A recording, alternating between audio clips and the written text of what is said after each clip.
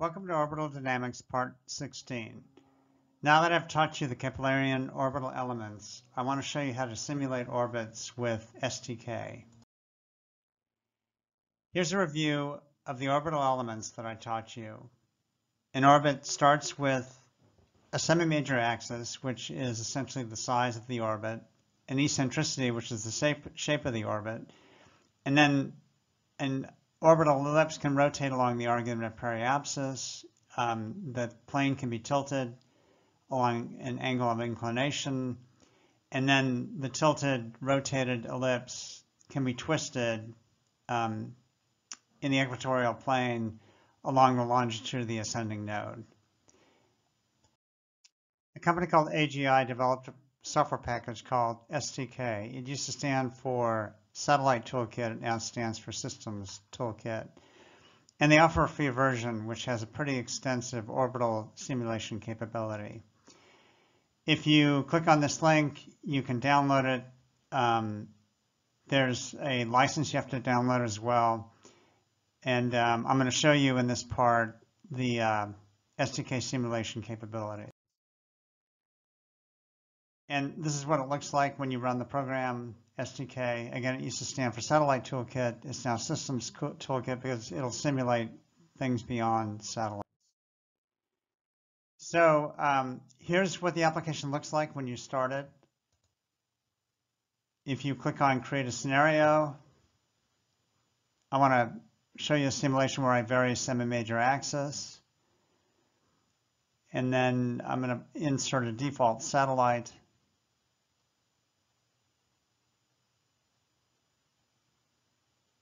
And I'll do that five times.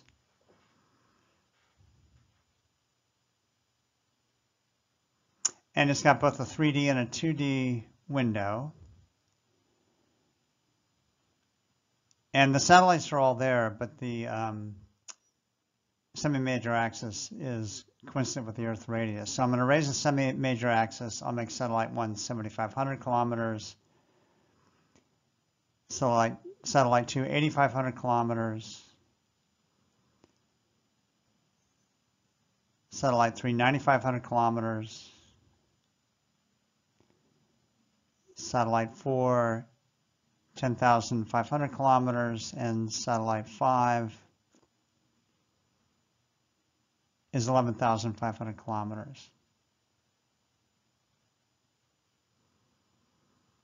And you, here you can see the various altitudes. Then if I display this in full screen mode, you can more easily see the orbits. The timing of these follows Kepler's third law, where the period is proportional to the semi-major axis. And you can see the periods are all different. Here's what those orbits look like in uh, on a Mercator projection.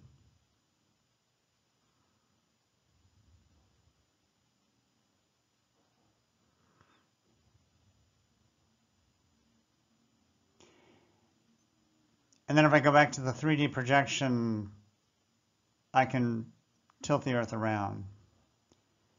And these by default had an inclination.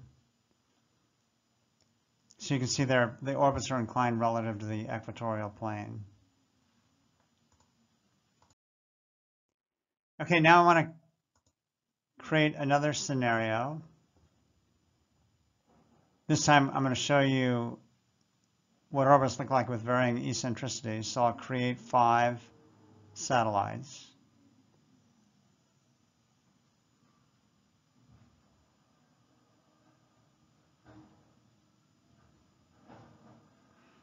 Now I want to make the semi-major axis 40,000 kilometers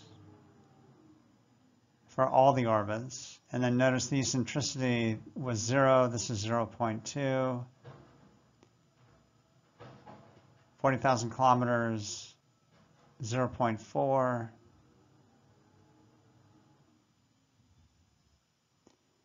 Forty thousand kilometers and zero point six, and 40,000 kilometers and 0 0.8.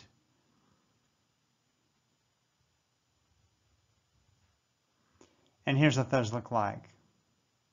Now, if the semi-major axis were smaller, the red orbit would go through the Earth, which STK will let you do, but it's not a valid orbit. So here's what these look like in full screen mode. Now if I run this animation, and you can see I've got controls here, I can speed up the animation rate. The true anomalies differ, and then they converge at the um, apogee and perigee points. And the periods of these orbits are all the same because the semi-major axes are all 40,000 kilometers. And then again, with STK, I can rotate this, look at this from different perspectives.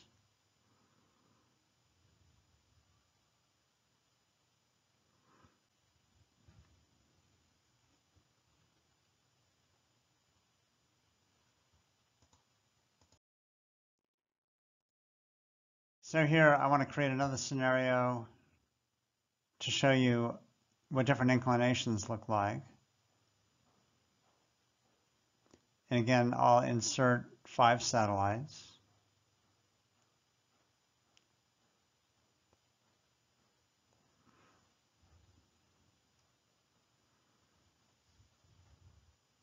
then I'm going to make the semi-major axis 8,000 kilometers and zero inclination, 8,000 kilometers, and 20 degrees of inclination,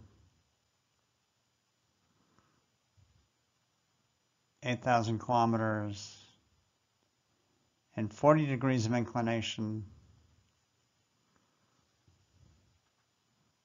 8,000 kilometers, and 60 degrees of inclination.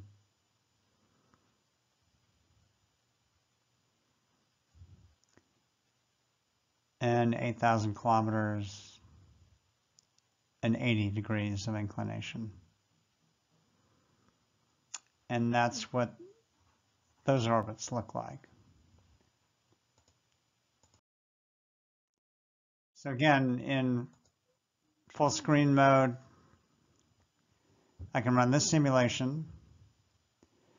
And again, because the semi-major axes of all these orbits is 8,000 kilometers, the periods are the same. The eccentricities are the same.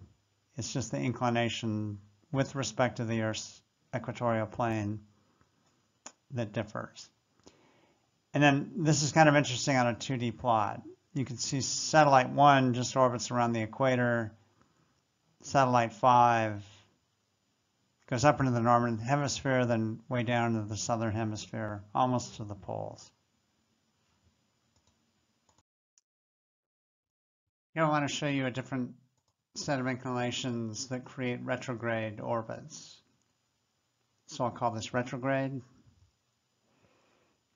And again, I'll create five satellites.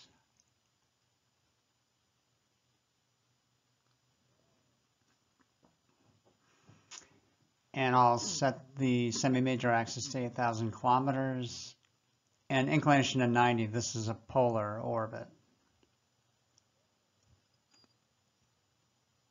And then 8,000 kilometers for satellite 2 and 110 degrees of inclination. 8,000 for satellite 3 and 130 degrees of inclination 8,000 kilometers for satellite 4 and 150 degrees of inclination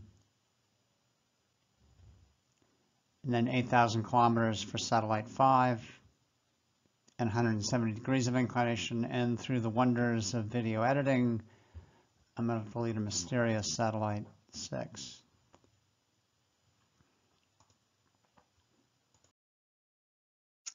And here's what those look like in full screen. And I'm going to show you the equator of the Earth as a reference. And you can see the 90 degree inclination is straight up and down. But these are called retrograde orbits because they orbit counter to the rotation of the Earth. And the previous inclinations that I showed you were prograde orbits because they orbited with the rotation of the Earth.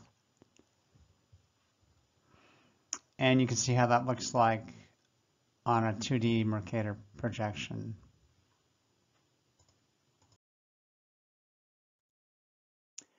Now I want to create another scenario to show you a shift in the argument of perigee. And here I want to run this animation for a few more days.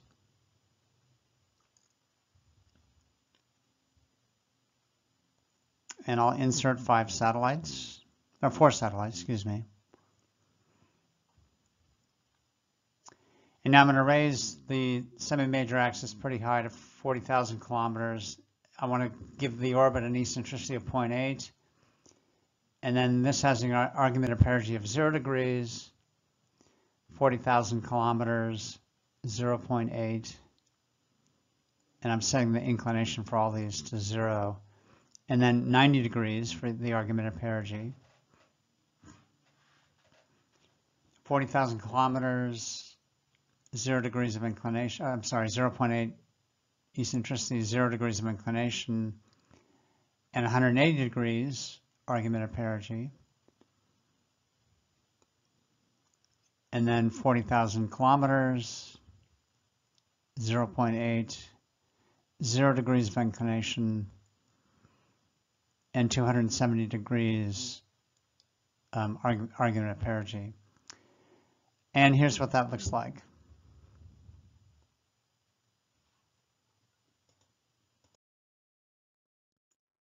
And in a full screen animation, these are all identical orbits except that the argument of perigee is shifted. And again, the ellipse is rotated in the xy plane about the z-axis.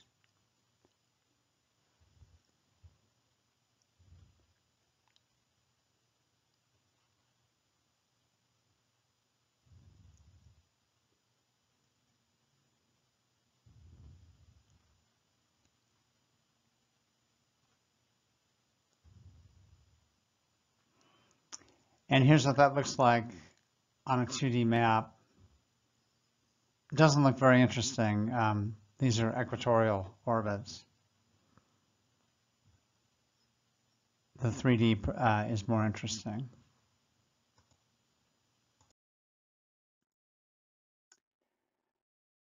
Okay, I'll create another scenario to show you the shift in the right ascension of the ascending node or the longitude of the ascending node. So again, I'll create five satellites.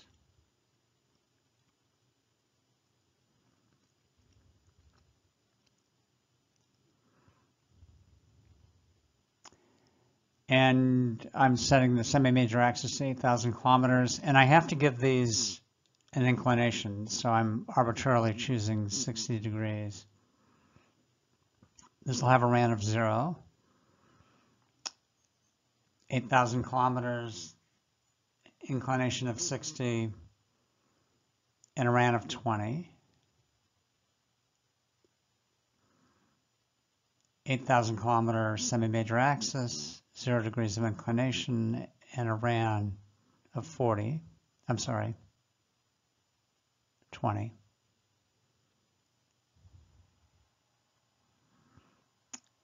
8,000 kilometers, 60 degrees of inclination.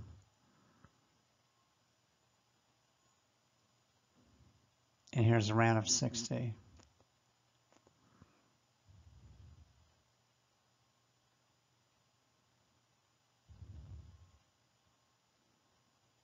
And this is 80.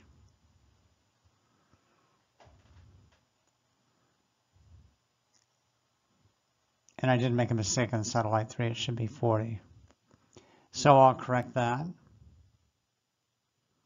And check 4 and 5. And now you can see that the same orbits, same inclinations, but the orbits are twisted along the equatorial. And here's what these look like in full screen mode. And now I want to show you the Earth vernal equinox vector. and I'll change the color to purple. So remember this rotation is with respect to that Earth vernal equinox vector. And so the right ascension of the ascending node is the twist in the orbit measured from the vernal equinox vector to the line of nodes on the orbit.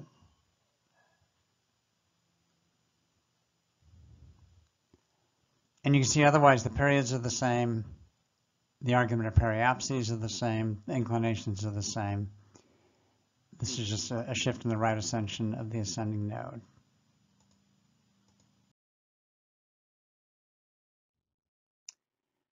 Okay, um, now I want to go through the orbital elements one by one. The first degree of freedom I'm showing you here is the choice of semi-major axis. That dictates the size of the uh, ellipse, and it's a circle in this case.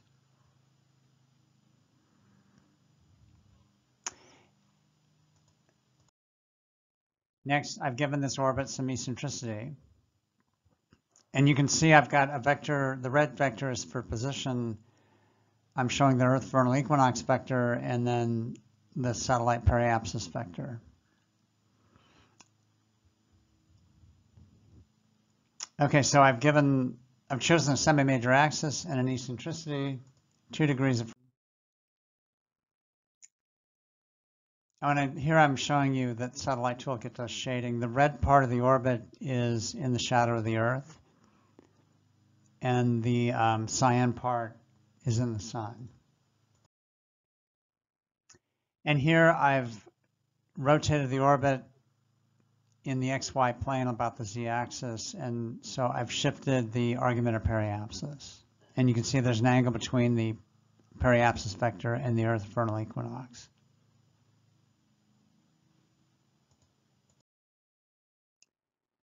Now I want to give the orbit some inclination. So I've shifted the periapsis. I've also tilted the orbit with respect to the equatorial plane. And you can see the satellite is ascending through the equatorial plane and descending. And so the point of ascension is the ascending node.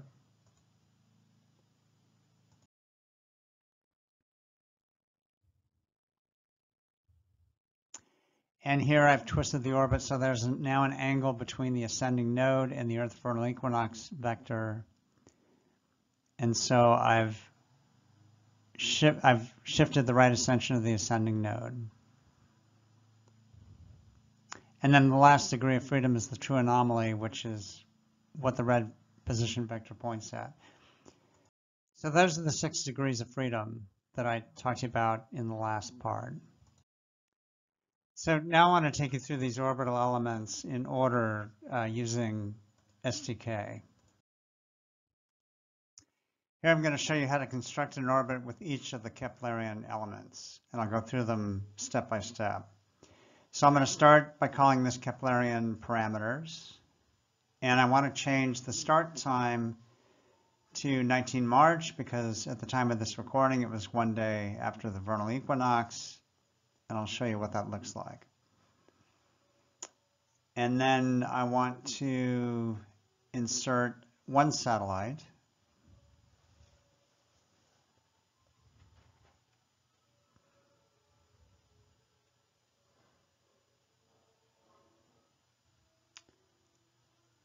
And then I'm going to set the semi-major axis to 20,000 kilometers. So, and I'll set the default inclination to zero. So this is the first degree of freedom. And you can see that orbit here. I'm going to display the equator and the prime meridian on the Earth. And then if I play this and speed it up a bit, you can see the Earth rotating.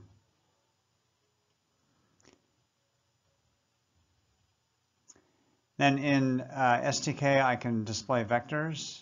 So here's the vernal equinox vector. This is our reference point in space from which we rotate orbits. And you can see that stays fixed even when the Earth rotates. Then I'm going to add the um, position vector. And we've referred to this earlier as the true anomaly.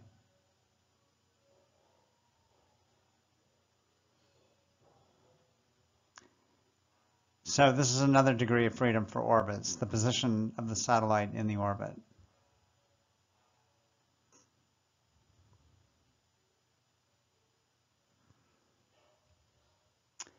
And here I'm going to display the celestial grid. And so the vernal equinox vector points to the zero zero point on the grid, and you can see because this animation started a little before the vernal equinox, the sun is going to line up right at the zero zero point at the instant of the vernal equinox, which happened yesterday.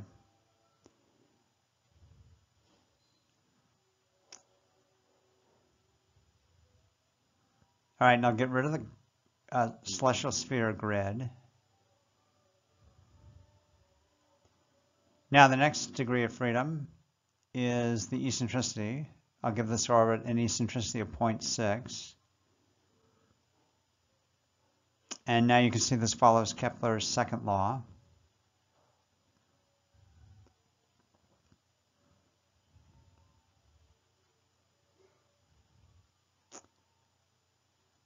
And here I'm going to show the equatorial plane for the Earth. And you can see thus far this orbit is in the equatorial plane. Now I'm going to rotate around the argument of perigee. So that now rotates the orbit with respect to the Earth vernal equinox and I'm going to get rid of the equatorial plane so you can see that more clearly. So you can see there's an angle between the position and the Earth's vernal equinox. But the position varies with time.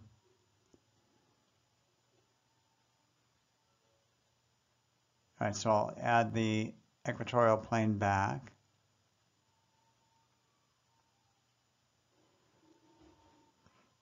And now I'm going to give the orbit a 30 degree inclination.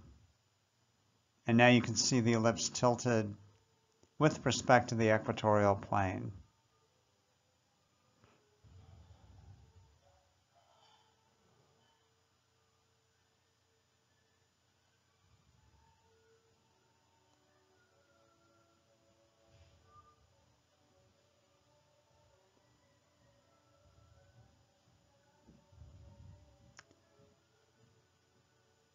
Now I want to add the line of nodes vector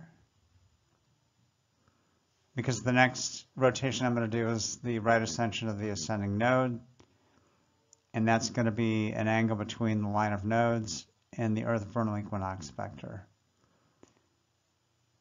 So I'll turn off the equatorial plane.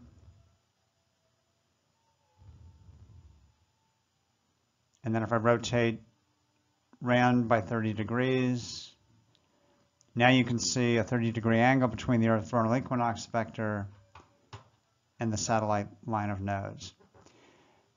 Okay, so I just constructed uh, an orbit with um, STK in three-dimensional space.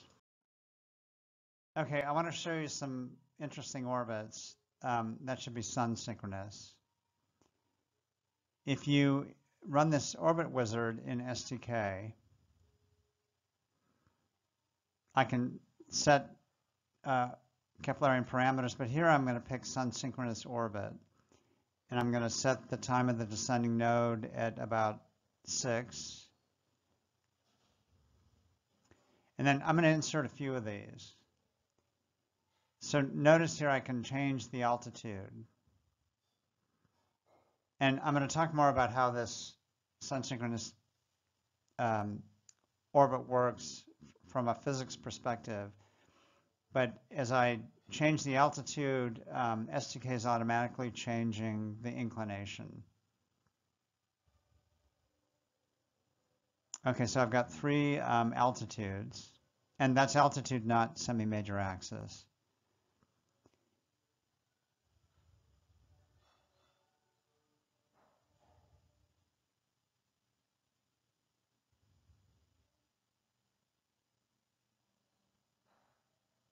And let me make this a little bigger. So notice the inclinations are all a little different. And as I run this, look at the, um, the shadow line of the Earth.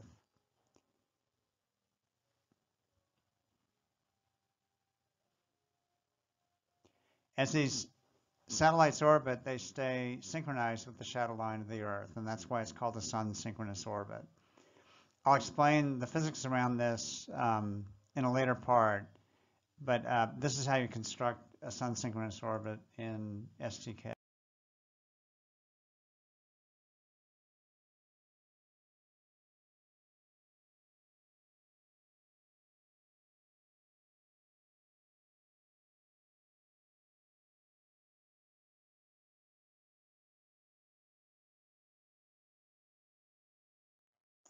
Now I want to show you a geosynchronous orbit.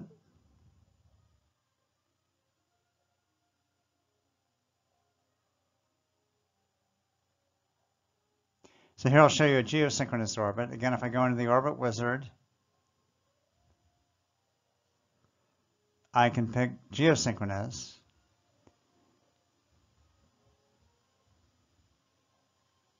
And that'll be right off the coast of um, South America. And then I want to insert a second geosynchronous.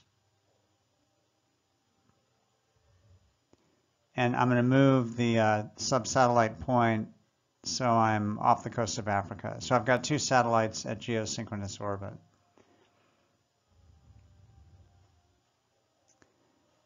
So if I play this animation, you'll notice that the orbit is synchronized with the rotation of the Earth, and these satellites are orbiting in the equatorial plane. So I'm at, if I'm at the right altitude, the period of the orbit is one sidereal day, um, and it's synchronized with the Earth. So here's another feature in satellite in uh, STK. I can add sensors to satellite one and satellite two. And I want to change the cone half angle.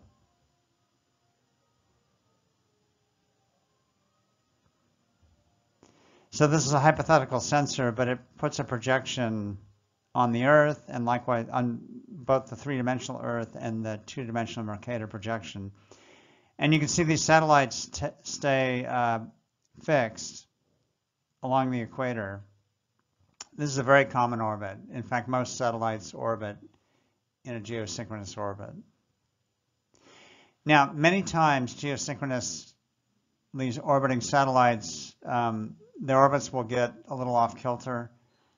And so here I'm showing a 10 degree inclination, which is common if a satellite runs out of fuel and can't do orbit maintenance.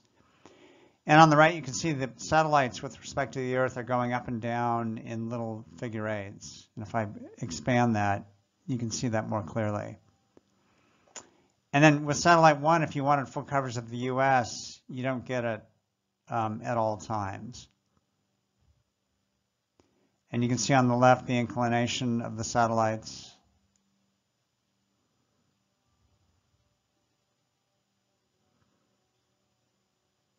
And if I display the um, equatorial grid, you can see how those two orbits are inclined with respect to the equatorial plane. All right, so that's a geosynchronous orbit. It stays synchronized with the rotation of the Earth.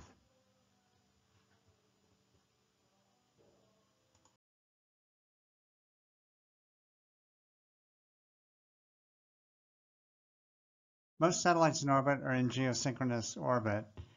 That's good for coverage around the equator and above and below, but it's not good for coverage in the high northern latitudes, like in um, vast parts of Russia.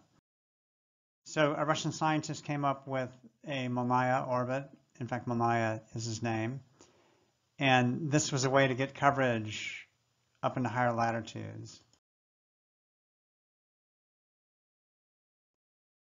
So in this simulation, I'm showing you here, um, these are the parameters for a geosynchronous orbit, and the longitude of the ascending node is 60 degrees. So this covers parts of Russia, but there's a lot of parts that it doesn't cover. And here's a way to solve that. So these are three Molniya orbits, and I do them one at a time. So you can see that this dwells for about 12 hours over the northern latitudes.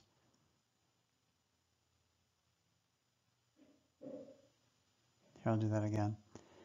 Um, but this is a highly elliptical orbit. So the satellite dwells over the northern latitudes, and then when it descends, you need to launch another satellite. And then when it descends, satellite 3, you need to launch satellite 4. And I think it actually takes four satellites to make this work, but with three, you get fairly good coverage. And you can see how you get polar coverage. And you don't just get coverage of Russia, you get Canada as well.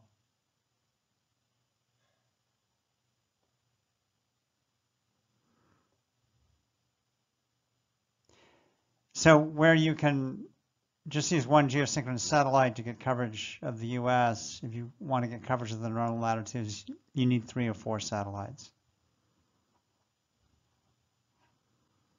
And this is what it looks like on a 2D projection. You see the orbits don't match up perfectly.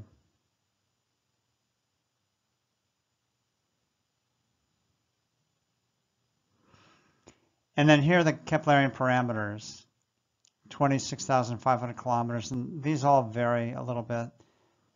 I don't think they actually need to be that precise.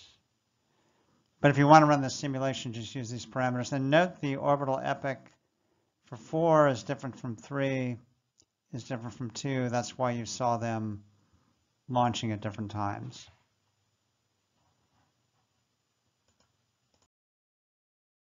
So here I want to show you a low Earth orbiting satellite. It's orbiting low so that it can um, get higher resolution uh, data from whatever sensors are on the satellite. But there is a challenge here. Notice that up in New England, the satellite had access. So if the satellite were collecting data, it would need to download the data periodically. And if this is a US satellite with ground stations in the US, you've only got about 10 to 15 minutes of access every time the satellite passes over. So for a satellite like this, there needs to be some online storage to store data when the satellite is not within view of a ground station. Otherwise, right there, it could download data. And it needs to download it in about 10 or 15 minutes.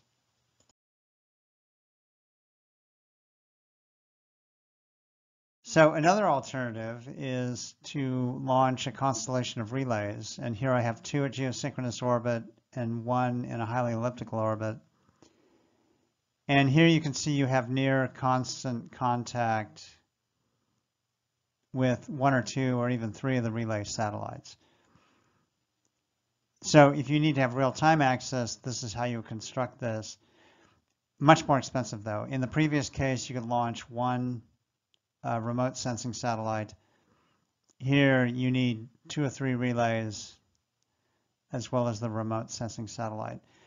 So the TDRS relays operate at geosynchronous orbit and they provide connectivity for a whole range of NASA low Earth orbiting satellites and um, the International Space Station.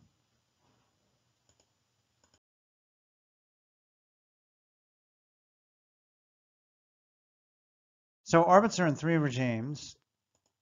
The green is geosynchronous. Um, the uh, magenta is highly elliptical. The orange is medium Earth orbit, and the yellow is low Earth orbit.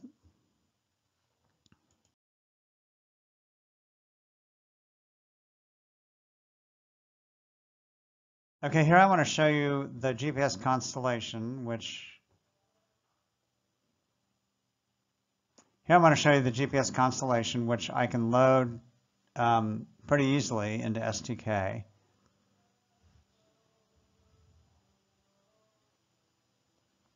And this automatically loaded all the GPS satellites, and this is where they are today. And you can see, it's a little easier to see in the Mercator projection how they move. If I select all of them, I can go into the properties pane and I can display the orbits by clicking on that box. And so now you can see the orbits of all the GPS satellites.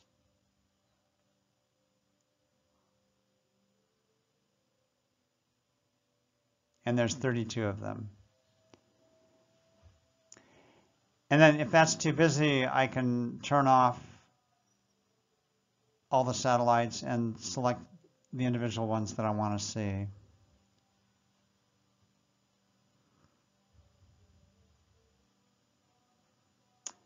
So this STK tool is got a lot of capabilities. And this is the free version.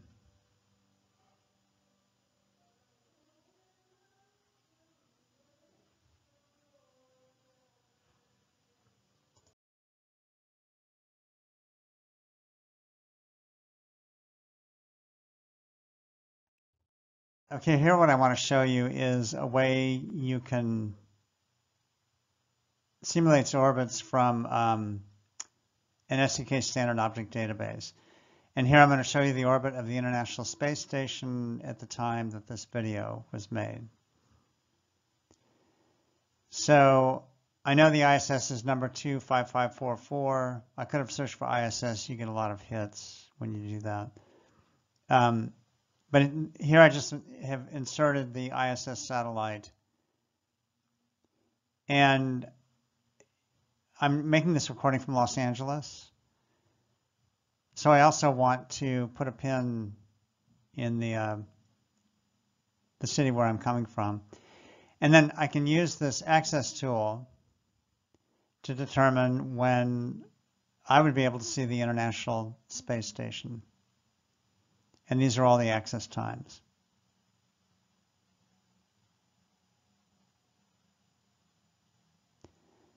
So if I run this orbit simulation,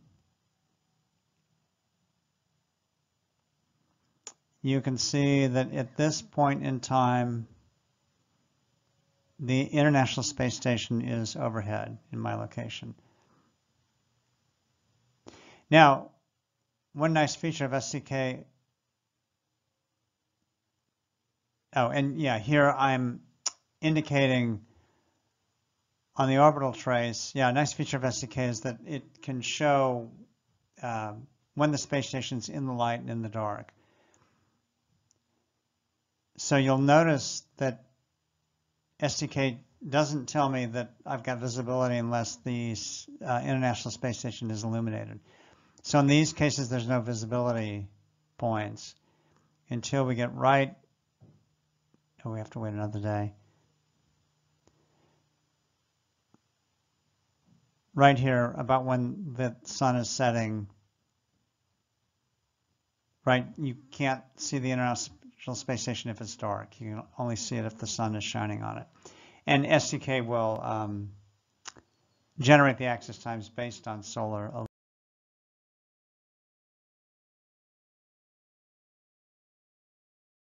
Okay, so the takeaway from this, um, I wanted to show you how we can model the uh, six Keplerian elements in uh, STK.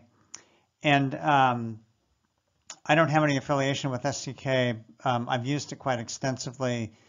If you're an orbit analyst, uh, you would have access to this tool.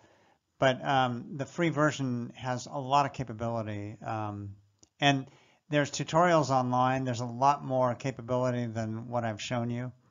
Um, so if you're interested in orbital dynamics, I would encourage you to download it and uh, use the free version.